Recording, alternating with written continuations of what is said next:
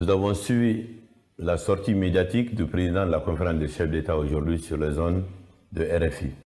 Avant tout, nous regrettons cette sortie solitaire, irresponsable et inappropriée à l'égard du peuple souverain de Guinée. Comme vous le savez tous, la fonction de président de la conférence des chefs de l'État est d'une grande exigence et ne voudrait pas que l'on estime que ce statut donne le droit de parler et de décider en lieu et place de ses pairs avant même de leur avoir consulté. Depuis son arrivée à la tête de cette institution respectable, le président Ambalo s'illustre dans ses prises de position personnelles au mépris de ses homologues présidents. D'abord, le bon sens et le respect de notre sous-région voudraient que l'on s'abstienne d'organiser des sommets de la CDAO en dehors des terres d'Afrique de l'Ouest. La jeunesse consciente africaine pleure dans son âme que son sort et sa situation soient décidés d'avance par quelqu'un et à des milliers de kilomètres. Cela démontre clairement aussi le manque de rigueur en soi à certains moments. À lui entendre et à le prendre au mot, en imposant à ses pairs la tenue de ce sommet en dehors de son espace géographique, son leadership aura permis de donner l'occasion aux autres de ne pas nous prendre au sérieux, à moins que ce ne soit son objectif. Dès lors, il est donc permis d'inviter le patron des chefs de l'État de la CDAO comme il le prétend, à œuvrer davantage pour l'honneur et la grandeur de nos peuples. Le mensonge grossier et les propos qui s'apparentent à de l'intimidation sont de nos jours des pratiques rétrogrades qui n'honorent pas son auteur et ternissent par la même occasion l'image de marque de la CDAO. Nous ne voulons pas porter cette honte. C'est pourquoi le temps est venu de dire ce qui a été dit en Guinée et qui est archi faux et décousu de tout sens, ce dont il a été question dans les échanges et le contenu du chronogramme de la transition. Nous ne ferons l'objet d'aucune publicité pour personne ou pour quelque raison que ce soit. Le respect de notre pays et de nos dirigeants est la base de toute relation au sein même de la CDAO. L'instabilité ne peut être une marque de gouvernance ou un droit acquis. La démarche du président Mbalo procède d'une diabolisation du régime de la transition en Guinée. Ça ne marchera pas parce que ses intentions et son orientation sont connues. Toutes les démarches menées par lui en lieu et place de la CDAO étaient de nature à entériner son choix de candidat pour les futures élections. Nous ne laisserons personne prendre en otage la voix du peuple.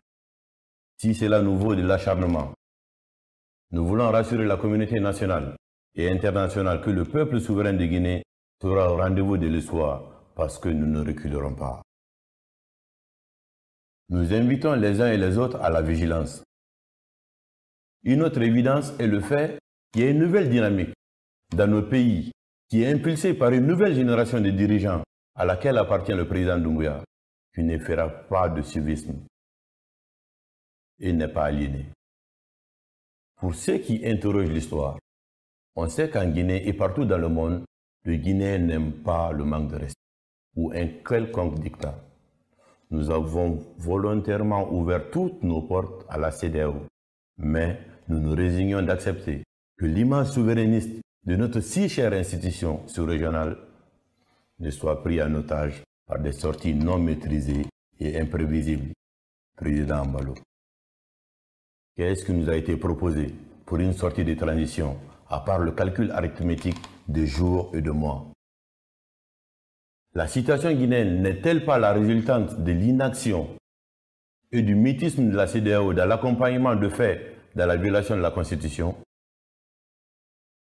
Nous assimilons cet acharnement au fait que les actions de rectification institutionnelle en cours dans notre pays soient du mauvais goût pour certains qui voudraient nous replonger dans les erreurs du passé. Chaque pays a ses réalités et nous assumons les nôtres.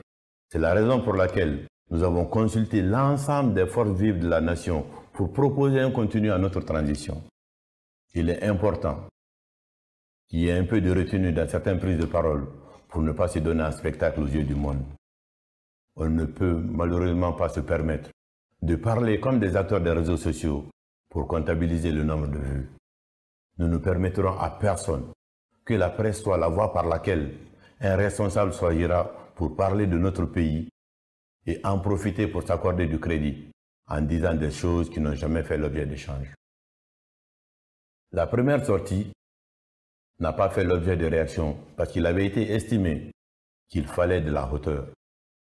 La vérité est que quelqu'un se permet de dire ce qui n'a pas été dit et veut faire croire cela aux gens. On n'est pas dans une émission de guignol ou de télé-réalité. Il s'agit de relations diplomatiques entre des États responsables qui requièrent le respect. Au sujet des sanctions pré-proclamées, nous répondons que ce n'est pas une surprise venant du président Balo. Nous regrettons ces propos qui s'apparentent à de l'arrogance contre notre pays et un dictat aux autres chefs d'État de la CDAO. Ce qui reste sûr, les prises de position du président Bissau-Guinée ne seront pas de nature à détériorer les relations historiques, séculaires et fraternelles entre nos deux peuples. Nous trouverons en cette période de transition la force, le caractère et l'union sacrée qui nous permettront d'aboutir à la mise en place d'institutions fortes qui résisteront au temps et à la tentation des hommes.